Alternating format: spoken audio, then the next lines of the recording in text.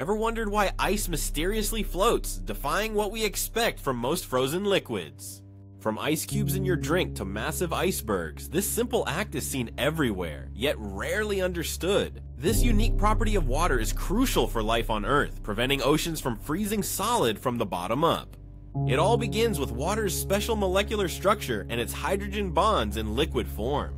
As water freezes, these hydrogen bonds lock into an open, crystalline hexagonal lattice, pushing molecules further apart.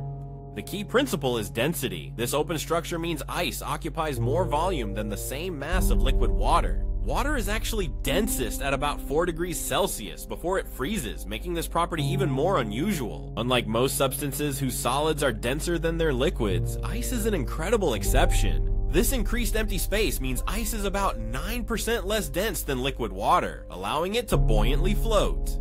This floating layer insulates lakes and oceans, protecting aquatic ecosystems from freezing solid and maintaining biodiversity. A tiny molecular quirk reveals how truly remarkable water is, shaping our entire planet and sustaining all life. Now you understand why ice floats. What other everyday mysteries make you curious? Share your why questions below and let's explore together.